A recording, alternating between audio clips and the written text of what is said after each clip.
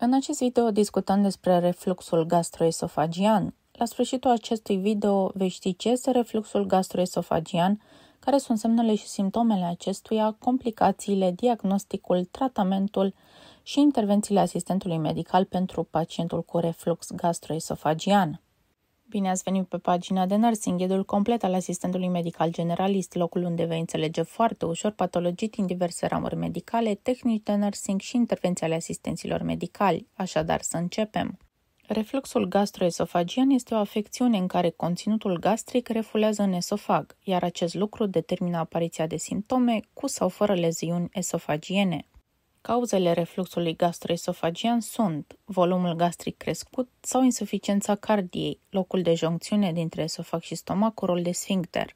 Factorii favorizanți ai refluxului gastroesofagian pot fi vârsta, volumul alimentar, decupit postprandial, alimente, alcool, medicamente, hernie hiatală, obezitate, diabet zaharat, distrofie musculară sau sindromul intestinului iritabil. Semne și simptome care apar în boala de reflux gastroesofagian. Pirozis, o senzație de arsură la nivelul pieptului care are o acțiune iritantă, regurgitații, durere retrosternală, sialoree, sughiți, eructații, disfagie și manifestări extradigestive, tuse nocturnă, manifestări respiratorii, senzație de corp străin în faringe.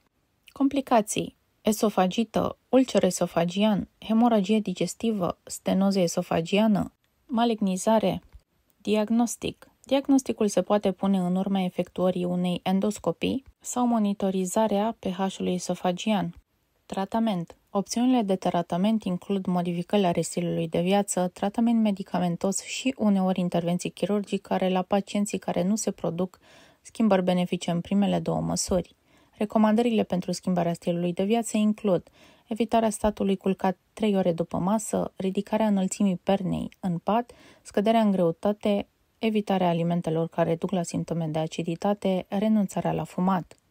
Medicamentele utilizate în tratamentul bolii de reflux gastroesofagian sunt antiacidele și inhibitori de pompă de protoni. Indicațiile pentru tratament chirurgical sunt esofagită ulcerativă sau hemoragică, stenoză esofagiană, aspirație bronhopulmonară sau displazie severă. Intervențiile asistentului medical pentru pacientul cu boală de reflux gastroesofagian. Asistentul medical menține igiena tegumentară a lingeriei sau mucoaselor, îngrijește cavitatea bucală, îndeosebi în caz de regurgitație, vomă sau gust neplăcut, măsoară funcțiile vitale și le notează în foaia de temperatură, supraveghează scaunul, urina, greutatea corporală, recoltarea de produse biologice și patologice pentru examinări de laborator, administrează tratamentul medicamentos prescris de medic, asigură repaus la pat și efectuează educația sanitară, hidratează, alimentează pe cale parentelală pacientul la indicația medicului, pregătește pacientul preoperator atunci când se impune necesitatea operației chirurgicale și urmărește în permanență modul de alimentație al pacientului.